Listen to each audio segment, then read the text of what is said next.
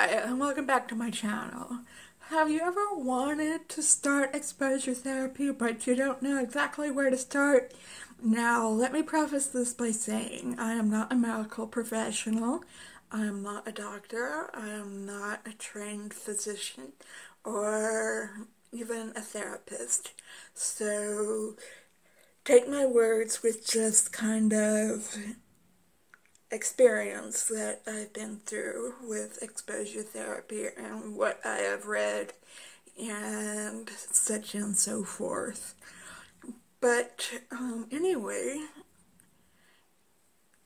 have you wanted to start exposure therapy and not known where to start? Well, I have some ideas and some tricks and tips for you on where to begin and um, that is where I want to start my video today. And hi, if you are new, hi, hi, hello, how are you? If you stumbled across my channel, here we talk about subjects related to agoraphobia, but we also talk about subjects related to makeup. And if you are interested in either one of those topics, or perchance you are interested in both of those topics, then I highly suggest you hit that subscribe button and hit that notification bell and set it to all so you can be notified every time that I upload a video, which is practically every day except Tuesdays. These days I'm always uploading um, Wednesday through Monday. Occasionally, I don't uh, subscribe, I don't get together, Jennifer. I don't upload on Sundays, but I have been a lot lately. And anyway, we love to have you in our little family here that is slowly growing. And um, yeah, if you are interested in this topic, then stick with us because we are getting right into it.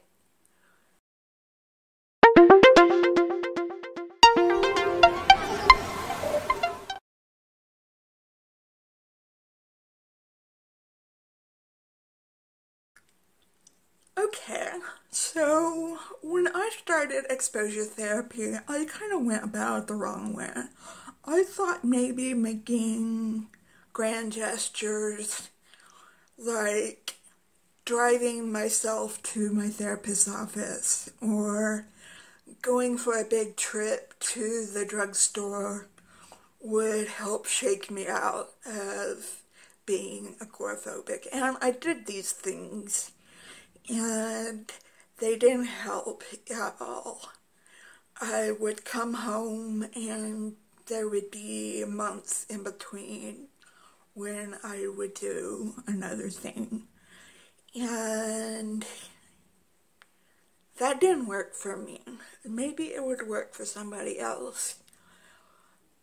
Um, just to go out and keep doing big things every day. What I found that worked for me was to start out very, very small taking very small baby steps. And I just started with going outside. And my daughter walks home from school, so I would sit out on the porch and wait for her to come home. I would go out 15 minutes before she was expected to come home, and I would sit out on the porch, on the porch, and wait for her. And you know, if somebody would come by and say hello, I'd say hi back. And um, if the package delivery came, guy came by and dropped off a box, I would accept the box. And I know I have social anxiety issues. So these were very big things for me to do too. So my suggestion is to start off something small like that. And again, I am just one person suggesting things to you. like go out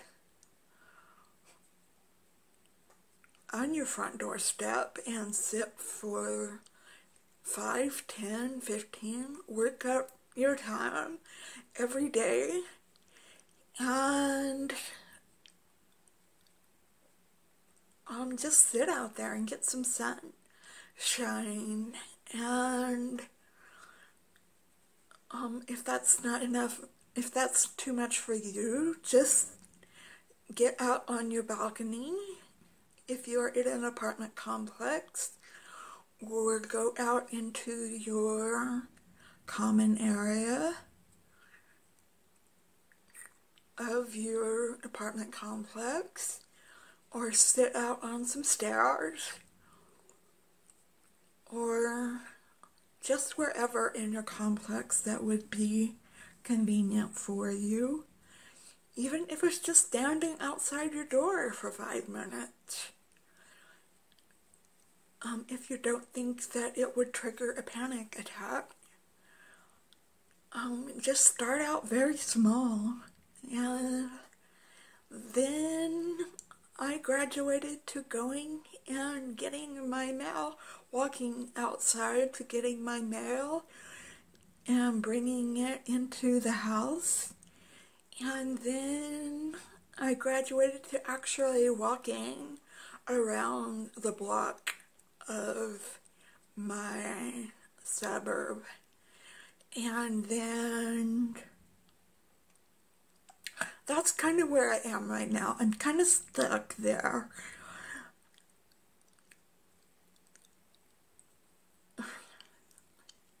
But I am still working on what I'm going to do next.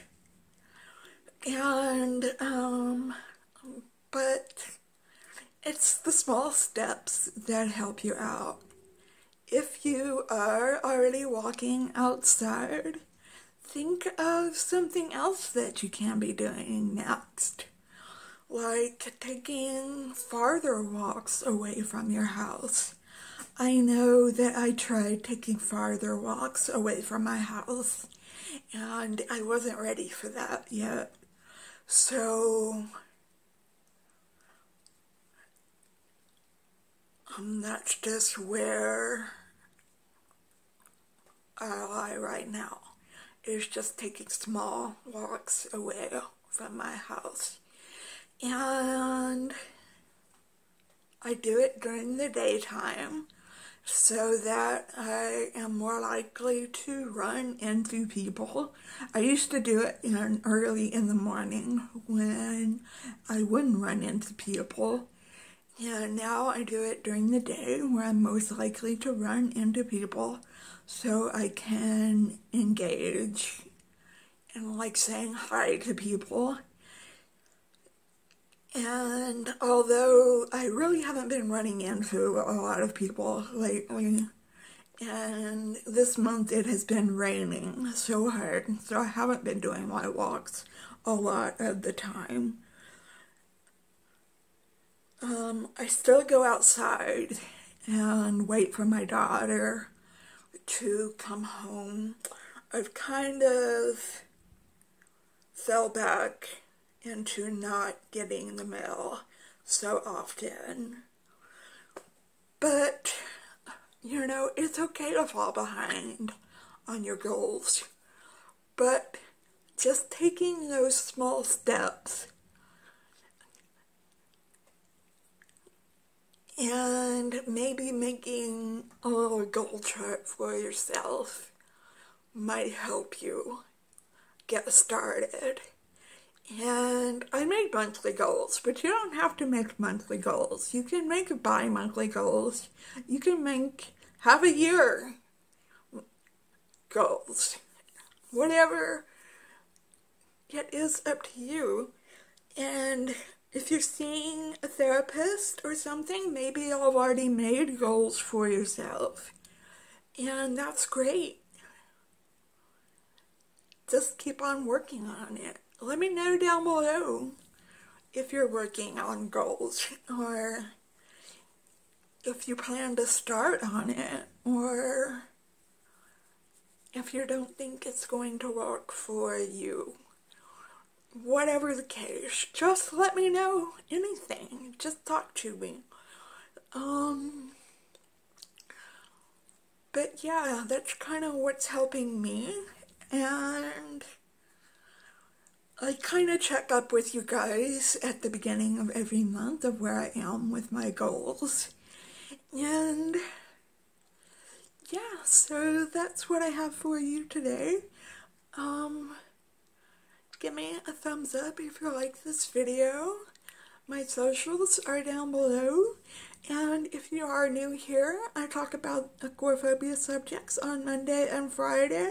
I talk about makeup subjects on Wednesday, Thursday, and sometimes Sunday. And check out my library of videos if you haven't, if you're new here. I talk about a lot of subjects. And um, I hope you are having a great day out there today. And if you are not, I hope you your day gets better for you and that it follows you out through the week. And just remember that tomorrow is always another day. And that I hope that if you're not happy today, that you are happy tomorrow. So just remember to stay strong, stay healthy, and stay safe and I will see you in my next video, hopefully. And so I bid you farewell. Okay, goodbye.